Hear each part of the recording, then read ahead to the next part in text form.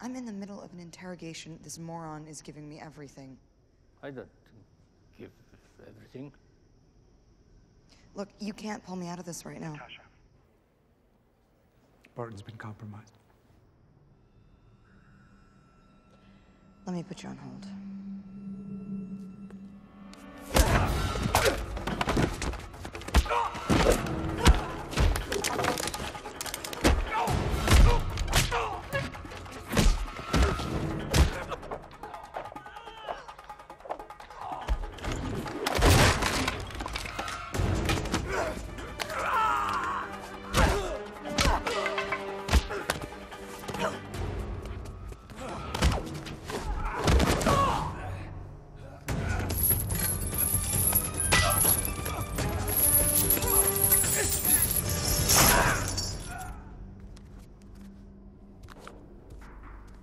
Where's Barton now?